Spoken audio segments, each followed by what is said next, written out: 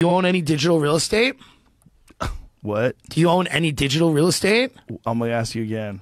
What? I mean, I know What you you have by like a house and everything. real estate? What does that mean? you don't.